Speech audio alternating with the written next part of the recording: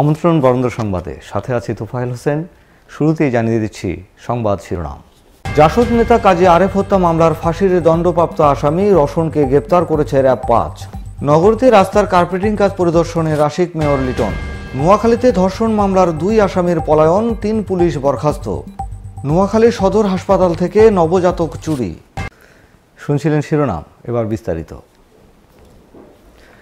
নাম পরিচয় আর ঠিকানা পাল্টিয়ে বছরের পর বছর আত্মগোপনে ছিলেন জাতীয় সমাজতান্ত্রিক দল জাসদ নেতা কাজী আরেফ হত্যা মামলার ফাঁসির দণ্ডপ্রাপ্ত আসামি রওশন ওরফে আলী, ওরফে উদয়মূল সন্তানদের কাছেও গোপন রেখেছিলেন তার এই কুকর্মের কথা। অবশেষে বুধবার রাতে রাজশাহী মহানগরের শাহ মুকদুম থানার ভারালিপাড়া এলাকায় র্যাবের হাতে ধরা পড়েছে সেই খুনি রওশন। সহযোগীদের কয়েকজন ঝুলছেন ফাঁসিতে, কেউ বা খাটছেন সাজা। কিন্তু হত্যা মামলায় মৃত্যু পরোয়ানা নিয়ে তিনি দিব্যি আত্মগোপনে ছিলেন বছরের পর বছর। নাম পরিচয় আর ঠিকানা পাল্টে রাজশাহীতে সংসারও পেতেছিলেন, করেছেন ব্যবসা বাণিজ্য। কিন্তু কলেজ পড়ুয়া দুই ছেলে মেয়ে জানতই না যে তার বাবার মাথার উপরে ঝুলে আছে ফাঁসির দণ্ড। তাকে গ্রেপ্তারের পর বেরিয়ে এসেছে সব তথ্য। বৃহস্পতিবার দুপুরে র্যাবের মিডিয়া সেন্টারে এক সংবাদ সম্মেলনে বাহিনীর আইন ও গণমাধ্যম শাখার পরিচালক কমান্ডার খন্দকার আল মঈন এসব তথ্য জানান। তিনি বলেন, তার আসল বাড়ি মেহেরপুরের গাংনিতে। হলেও রসন রাজশাহীতে সবাইকে বলতো তার গ্রামের বাড়ি গাজীপুর। তিনি বলেন, কলেজ পড়ুয়া এক ছেলে ও এক মেয়ে থাকলেও সন্তানরাও তার প্রকৃত নাম আর খুনের কথা জানতেন না। তবে রসনের স্ত্রী সব ঘটনা জানত। উনিশশো নিরানব্বই সালের ষোলো ফেব্রুয়ারি কুষ্টিয়ার দৌলতপুরের কালিদাসপুর সরকারি প্রাথমিক বিদ্যালয় মাঠে একটি সভা চলার সময় ব্রাশ ফায়ারে জাসদের পাঁচ নেতা নিহত হন। ওই ঘটনায় দায়ের হওয়া মামলায় দুই হাজার চার সালে দশ জনের ফাঁসি ও বারো জনের যাবজ্জীবন কারাদণ্ড দেয় কুষ্টিয়ার আদালত। রায়ের বিরুদ্ধে আপিল করা হলে দুই হাজার আট সালে হাইকোর্ট নয় জনের ফাঁসির আদেশ বহাল রাখেন। একজনকে খালাস দেন ও বারো জনের সাজা মৌকুব করেন। দুই হাজার ষোলো সালে আট জানুয়ারি তিন খুনের ফাঁসি কার্যকর হয়। মৃত্যুদণ্ডপ্রাপ্ত নয় জনের মধ্যে রওশন সহ পাঁচজন পলাতক ছিলেন। একজন কারাগারে থাকা অবস্থায় মারা যান। র্যাব কর্মকর্তা খন্দকার আল মঈন বলেন, প্রাথমিক জিজ্ঞাসাবাদে রওশন জানিয়েছেন কাজীর আরেফ ছাড়াও আরও কয়েকটি হত্যাকাণ্ডে জড়িত ছিল সে। রাজশাহী মহানগরীর গুরুত্বপূর্ণ রাস্তার উন্নয়ন প্রকল্পের আওতায় অনুরাগ কমিউনিটি সেন্টার হতে মালোপাড়া পুলিশ ফাঁড়ি হয়ে গণকপাড়া ও সোনাদিঘি মোড় পর্যন্ত সড়কের কার্পেটিং কাজ শুরু হয়েছে। বৃহস্পতিবার দুপুরে সড়কটির কার্পেটিং কাজ পরিদর্শন করেন রাজশাহী সিটি কর্পোরেশনের mayor H M Khairuzzaman Liton. এ সময় কাজের মান ও প্রকল্পের আওতায় সড়ক প্রশস্ত উন্নয়ন কাজের অগ্রগতি সহ সার্বিক বিষয়ে খোঁজখবর নেন সিটি মেয়র। একসময়ের সরু এই সড়কটি প্রশস্ত করেছে রাজশাহী সিটি কর্পোরেশন। প্রশস্তকরণ শেষে এখন চলছে কার্পেটিংয়ের কাজ। নগরীর গুরুত্বপূর্ণ এই সড়কটি প্রশস্ত হওয়ায় নগরবাসীর চলা নির্বিঘ্ন হবে। পরিদর্শনকালে ঠিকাদারি প্রতিষ্ঠান রিথিন এন্টারপ্রাইজের কর্ণধার তৌরিদ আল মাসুদ রনি ও শামসুজ্জামান রতন রাজশাহী সিটি কর্পোরেশনের সহকারী প্রকৌশলী সুব্রত কুমার সরকার, উপসহকারী প্রকৌশলী মুকাম্মেল আলী ও আলমতি শরীফ উদ্দিন সহ অন্যান্যরা উপস্থিত ছিলেন। পুলিশের চোখ ফাঁকি দিয়ে ধর্ষণ মামলার দুই আসামি পালিয়ে যাওয়ার ঘটনায় নোয়াখালীর সোনাইমুড়ি থানার তিন পুলিশ সদস্যকে সাময়িক বরখাস্ত করা হয়েছে। বুধবার বিকেল পুনে চারটার দিকে মুন্সিগঞ্জ জেলার গজারিয়া থানা এলাকার হাইওয়ে রোডের আলমদিনা হোটেল অ্যান্ড রেস্টুরেন্টের টয়লেট থেকে তারা পালিয়ে যায়। বুধবার রাতে জেলা পুলিশ সুপার শহীদুল ইসলাম বিষয়টি নিশ্চিত করেছেন। বরখাস্তকৃত পুলিশ সদস্যরা হলেন নোয়াখালী সোনাইমুড়ি থানার উপপরিদর্শক ফারুক হোসেন, কনস্টেবল আব্দুল কুদ্দুস ও নারী কনস্টেবল আসমা আক্তার। এছাড়া পরিদর্শক জিসান আহমেদের বিরুদ্ধেও ব্যবস্থা গ্রহণের জন্য চট্টগ্রাম রেঞ্জ অফিসকে অবহিত করা হয়েছে। জেলা পুলিশ সুপার জানান, এ ঘটনায় নোয়াখালীর অতিরিক্ত পুলিশ সুপার দীপক জ্যোতি খিসাকে আহ্বায়ক করে তিন সদস্যের তদন্ত কমিটি গঠন করা হয়েছে। তদন্ত রিপোর্ট হাতে পেলে পরবর্তী আইনগত ব্যবস্থা নেওয়া হবে। এদিকে এসপি শহীদুল ইসলাম বলেন, নোয়াখালী সোনাইমুড়ি থানার ধর্ষণ মামলার দুই আসামি পলায়নের আট ঘণ্টা পর এক আসামিকে গ্রেফতার করেছে পুলিশ। মামলার আসামিরা হচ্ছে, মামলার আসামিরা হচ্ছে সোনাইমুড়ির বাট্টা গ্রামের মৃত চানমিয়ার ছেলে মোহাম্মদ জুয়েল ও বগাদিয়া গ্রামের সওদাগর বাড়ির মৃত আব্দুল লতিফের ছেলে দেলোয়ার হোসেন। নোয়াখালী সদর হাসপাতাল থেকে এক নবজাতক চুরির ঘটনা ঘটেছে। বুধবার রাত আটটার দিকে হাসপাতালের দুই নম্বর ওয়ার্ড থেকে এই চুরির ঘটনা ঘটে।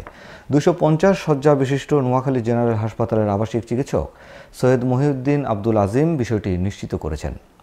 চুরি হয়ে যাওয়া ওই নবজাতক আব্দুল মালেক ও মুসাম্মদ জুলেখা বেগম দম্পতির ছেলে।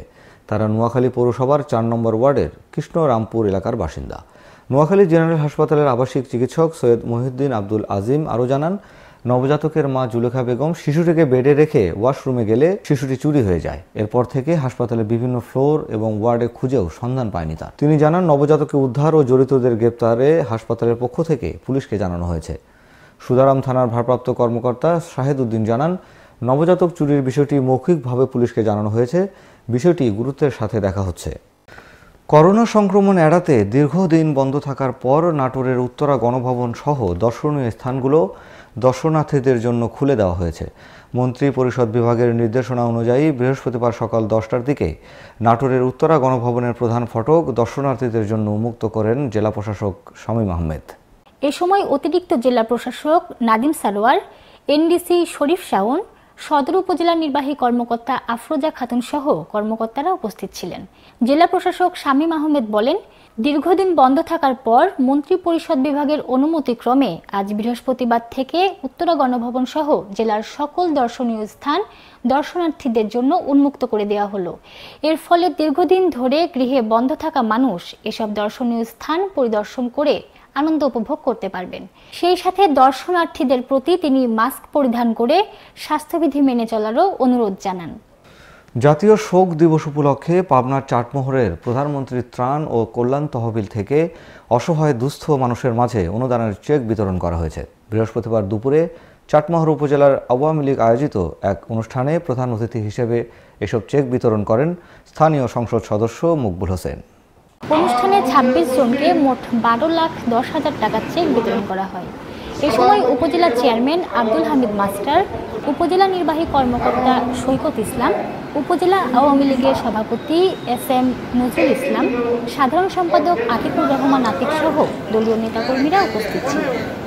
পাবনায় অগ্নিকাণ্ডে ক্ষতিগ্রস্ত অতি দরিদ্রদের মাঝে গৃহ নির্মাণের জন্য ঢেউটিন বিতরণ করা হয়েছে। বৃহস্পতিবার দুপুরে উপজেলা পরিষদ মিলনায়তনে সব ঢেউটিন বিতরণ করেন পাবনা পাঁচ আসনের সংসদ সদস্য গোলাম ফারুক প্রিন্স। এ সময় উপজেলা নির্বাহী কর্মকর্তা তাহমিনা আক্তার রেইনা, উপজেলা পরিষদের ভাইস চেয়ারম্যান সওয়াল বিশ্বাস, সহকারী কমিশনার কাউসার হাবিব, প্রকল্প বাস্তবায়ন কর্মকর্তা আব্দুল করিম উপস্থিত ছিলেন। অনুষ্ঠানে উপজেলার একচল্লিশটি পরিবারের মাঝে ছেষট্টি বান্ডিল ঢেউটিন ও এক লক্ষ আটানব্বই হাজার টাকা প্রদান করা হয়। কোলাহলপূর্ণ শহরে যখন দম বন্ধ হয়ে যাওয়ার মতো অবস্থা, ঠিক তখন শহুরের জীবন ছেড়ে মানুষ ছুটতে চায় প্রাকৃতিক সৌন্দর্যের খোঁজে। ভ্রমণ পিপাসুদের আনন্দ দিতে প্রকৃতিও মেলে ধরে তার সৌন্দর্য। আপন মনেই গড়ে তোলে বিনোদন কেন্দ্র। এমনই এক পর্যটন কেন্দ্র গড়ে উঠেছে ঠাকুরগাঁও সদর উপজেলার বালিয়া ইউনিয়নের একটি বাঁধকে ঘিরে। বর্তমানে ভ্রমণ পিপাসীদের কাছে এটি এখন মিনি কক্সবাজার নামে পরিচিত। পর্যটকরা বলছেন, যাতায়াত ব্যবস্থা সহ অন্যান্য সুযোগ সুবিধা বৃদ্ধি করতে পারলে বিনোদন পিপাসুদের কাছে এটি হবে জেলার অন্যতম পর্যটন কেন্দ্র। ঠাকুরগাঁও প্রতিনিধি জুনায়েদ কবিরের তথ্য ও চিত্র নিয়ে ডেস্ক রিপোর্ট।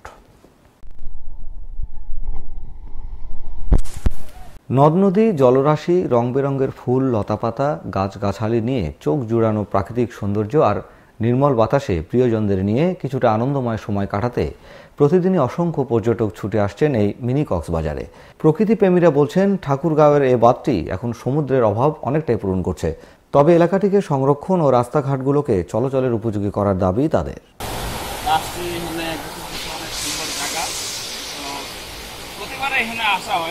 কিছু অনেক আমরা আসি এখানে। অনেক মজা সমস্যাটা হইল মেন সমস্যা আসার মানে রাস্তা, আমরা রাস্তার মানে সঠিক রাস্তা পাচ্ছি না, রাস্তা অনেক খারাপ ডিস্টার্ব বাইক নিয়ে আসতে আমরা পড়ে যাচ্ছি।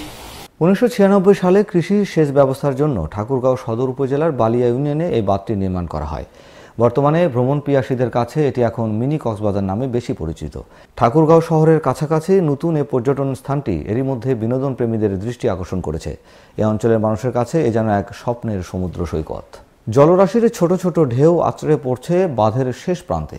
জলের কলকলানি শব্দ, প্রকৃতির অপরূপ সৌন্দর্য আর নির্মল বাতাস উপভোগ করতে প্রিয়জনদের নিয়ে বেড়াতে আসছেন এই মিনি কক্সবাজারে। তবে করোনা পরিস্থিতিতে বিনোদন কেন্দ্রগুলোতে সরকারের দেওয়া স্বাস্থ্যবিধি মেনে চলার তাগিদ দিচ্ছেন সংশ্লিষ্টরা। এই ছিল বরেন্দ্র সংবাদে, সাথে থাকবার জন্য ধন্যবাদ।